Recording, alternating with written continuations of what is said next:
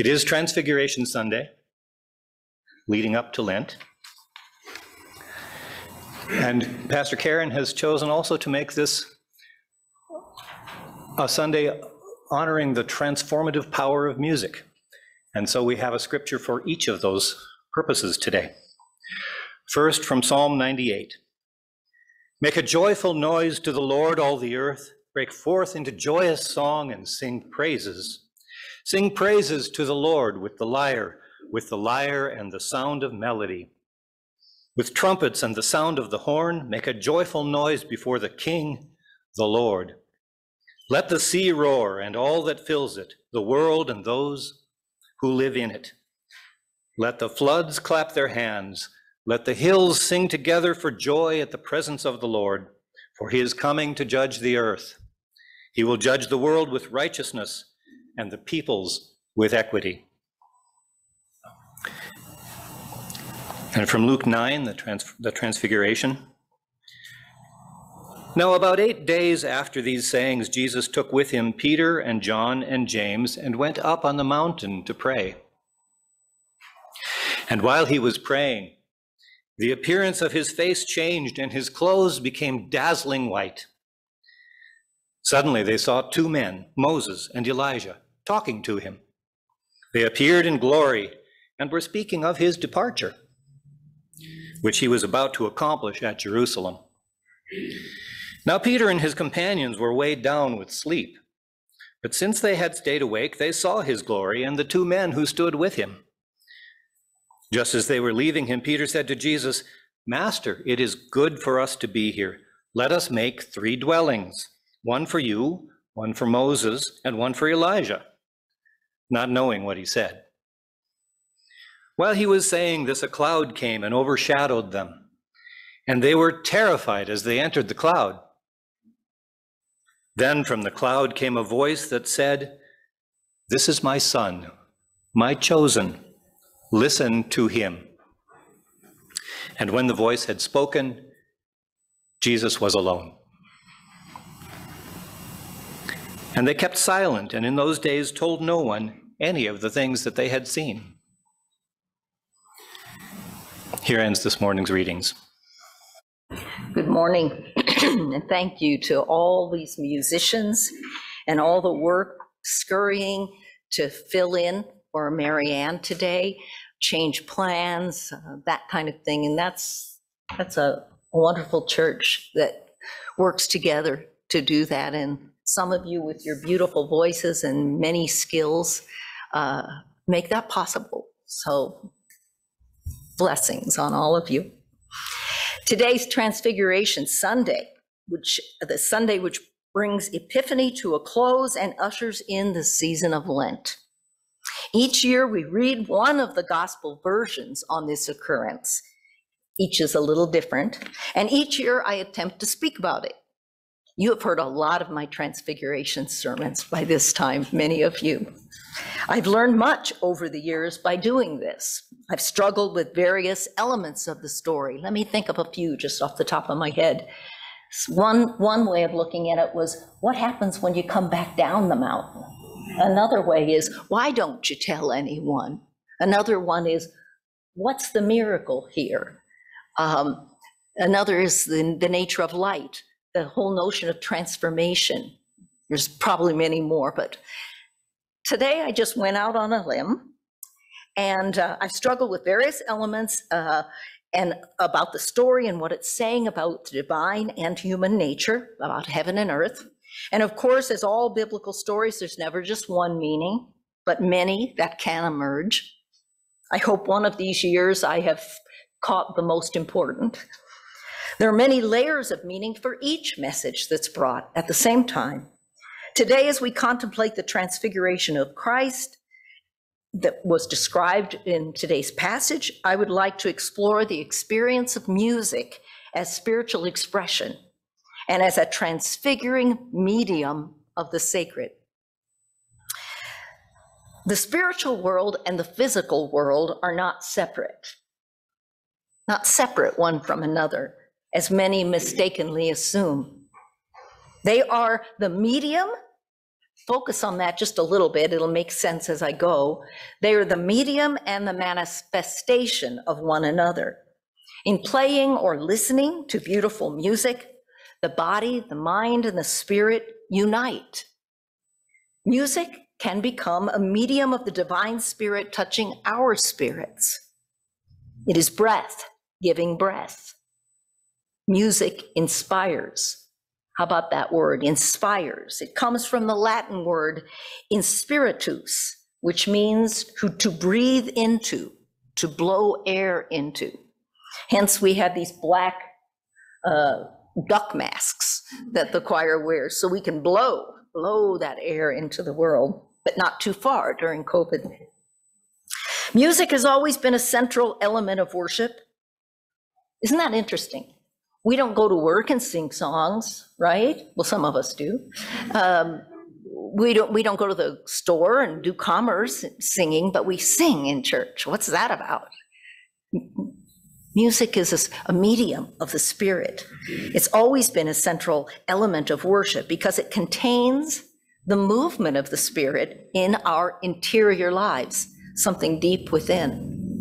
It embodies the qualities of our human experience in this movement the passion of triumph and grief, the joy and sorrow, the love, the praise, the memories, the dreams. She ever, Patty sent me the words to the song she sang for the call to worship this morning uh, before I heard the music. But when it's set to music, it's like all of a sudden, oh my goodness, that's a power that the words don't contain, even though the words are part of the experience, they're expression of the music as well. The word movement is used as a musical term to refer to a portion of a musical composition which has its own key or mood and then resolves itself or segues through the movement into another key. That's about all I know about music. This is the movement of life as well, isn't it? Life also has its harmony and its discord, its change of mood and tone and pace and tempo and rhythm. In music, as in life, there is both clear structure and wild freedom. Now, it's easier to see in the musical arts the power of structure than it is in the graphic arts or in the whatever you call, but there are structures to, uh, what do you call it when you paint on paper or you oil paint? The visual arts, visual arts. You don't see that structure as clearly as in music. It's mathematical. There's a real clear structure in music, but even within that structure, there's a wild freedom of expression. Structure and freedom are woven together. The expected and the unexpected create drama as they dance together. There's joy and suffering, there's eros and pathos, there's repetition. Ridiculous repetition at times, isn't it? The chanting, the same, the same, the same, or even in our words today, holy, holy, holy, because we're not meant to be thinking too much right then. We're meant to be feeling the, the awesomeness of the moment. A musician, as any artist, has the creative task of joining matter and spirit. He or she doesn't create this union of matter and spirit, it already exists, but he or she uncovers it. When successful, the music reaches far beyond the musician to the heart of the listener. The musical arts uncover the sacred using sound and rhythm. Music is arranged by way of tempo and pitch, melody and harmony, and their dynamics reverberate into the matter of the human body through the ear and into the human soul and spirit in more mysterious and uniquely different ways. The spiritual, soulful artistry of music also meets, meets a matter in the shape and nature of the instruments that you play. Ah, that we blow into all these interesting shapes and ways that we play music around the world. The keys we play, the wind instruments, the string instruments. Or on which the music, or the notes on the musical staff are another way that that's a very tangible look at music but it isn't music, is it? or the lighted screen, acoustics of the room in which one uh, sings or plays, the nature of the audience itself. In today's story from the gospel, Jesus's garments become are transfigured and become whiter than snow. In the Old Testament, when Moses is given the Ten Commandments, what happens there? His face radiates with light so bright that he must put on a veil. The spiritual source of the sacred flame ignites the prophet, the Christ, and in today's context, the musician and the listener to carry and hold the divine in sound or sight. As human beings, we all have this creative potential. We all have access to the transfiguration, whether phys- physicist or poet, child or parent, teacher or student, healer or public figure. And as we look at the news lately, we wish public figures and leaders had a little bit more of this sense of the holy structure of life, don't we? When a human being as artist connects to this spirit, he or she becomes fundamentally changed. And the connection isn't always a pleasant one. In fact, it can be initially disturbing and disorienting to the human soul. You know what I'm getting at here? It can lead to madness. Have you ever considered how many artists, whether painters or writers or musicians or Poets are vulnerable to a kind of madness. Can you, anybody name any right now? I was going to go back and, and think about that. Yeah. Exactly. Vincent van Gogh. Anybody else? Just off the top of your head. There's a lot. Who? Oh, yes. Oh, yes. In the rock field for sure, right? Oh, Ravel? Many poets I know reading about uh, Anne Sexton and Sylvia Plath. Sylvia Plath took her life. You know, there's it's a dangerous, dangerous movement toward the holy sometimes. If, like most of us, the artist as a human being lives with little awareness of their divine source, and then somehow in their act of creation begins to tap into it, they're awakening to a presence of such intimacy and intensity can be uncomfortably disorienting. You know, somebody asked me this week who was confessing some things uh, as a pastor. Um, I just thought of that. They directly asked me, Do you think I'm mad? And I'm like, No, no. But we all kind of want to check that out, don't we? Is how we think or feel really okay?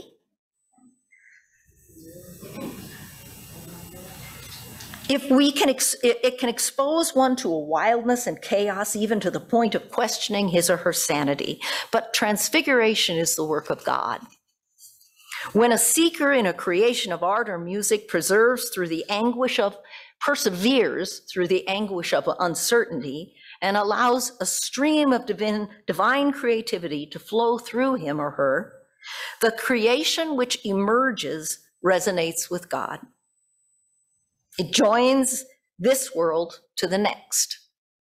Music can provide a powerful experience of the divine in a way very little else can. As Ludwig van Beethoven once wrote, music is the mediator between the spiritual and the sensual life. Music is a higher revelation than all wisdom and philosophy. Each time we come to worship, music invites us to invoke the Spirit of God into this sanctuary, into this place of silence and stillness.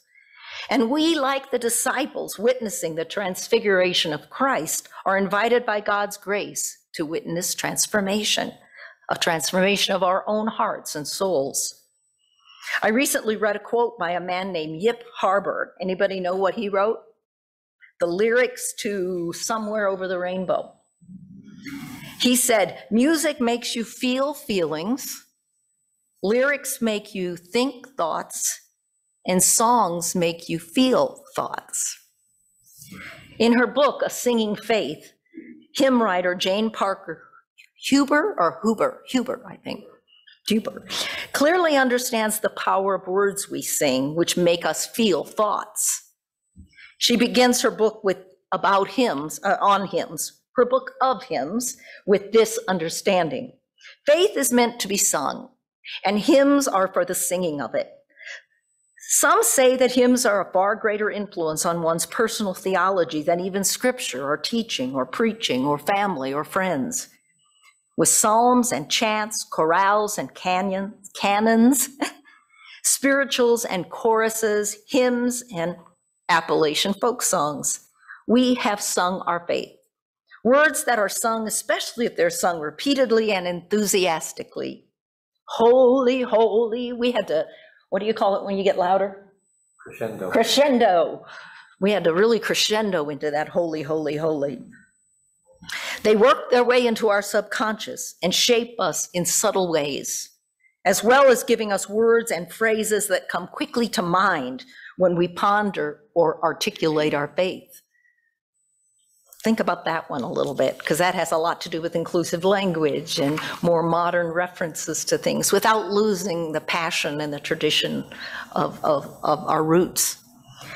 The words we sing in our songs with the music we know and love allow us to feel our thoughts. But music impacts us emotionally even without the expression of thought. As Harburg said, music makes you feel feelings, the music itself.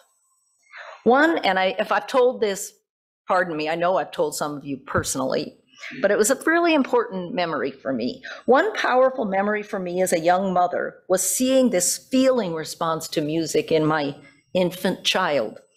The family was traveling by car to visit family. Our daughters were in the back seat, Eliza about six and Sophie around two, sitting in her car seat. We turned on the radio to a station that played classical music, which wasn't common for us, but it makes us sound real highfalutin, doesn't it? The song playing was rather soft and touching. Everyone was sitting quiet, and I turned around to look, on, look at them, check on them, and I saw tears streaming down Sophie's face. She didn't appear to be sad or upset. Her face was calm, but she was obviously moved by something too young to be conscious of what, but clearly feeling it and experiencing, experiencing it bodily. Sophie, as an infant, felt the tenor or the mood of the music without any context in thought. I'm told that there's something on Facebook or uh, on YouTube, YouTube, I guess, where an infant is responding to her mother singing to her. Does has anybody heard that? I didn't have a chance to look it up, but my daughter, when I told my daughter about this, she told me. The sheer beauty of music moves us, transfigures us to feel reverence for the mystery of the spirit behind it. In his book, Beauty, the Invisible Embrace, the late Celtic priest John O'Donohue from Connemara, Ireland, spoke to the transfiguring power of the, in the presence of the beautiful in this life. Beautiful music, beautiful art, beautiful emotion between two of us, a beautiful being, a beautiful child, nature. When we awaken to call of beauty, we become aware of new ways of being in the world. Though beauty only visits us and will not linger, neither did the transfiguration. It calls us to feel and think and act with more gracefulness in the world and to create and live a life that awakens the beautiful. The wonder of the beautiful is its ability to surprise us. With swift, sheer grace, it is like a divine breath that blows the heart open. Beauty is not a call to growth only, it's a transforming presence wherein we unfold toward growth almost before we realize it. So, to conclude, music has the power to transfigure the moment and the person living in this moment. When we're surprised by a sudden experience of the beautiful in nature or art or music, we are called forth in that moment. And this is my favorite line, and I wrote it, okay, but to see, to see a blessed order to the things of earth and heaven, to see a blessed order to the things of earth and heaven. I think so many of us are having a real hard time with that after two years of COVID and invading a country, you know, uh, you know, one sovereign state invading another, and the things that we see. And we're like, is there any order to this? The transfiguration of Jesus was a call of beauty for the disciples who witnessed it. The call of beauty visited them fleetingly and unexpectedly, and yet its voice called out to them in a way that would forever change their lives.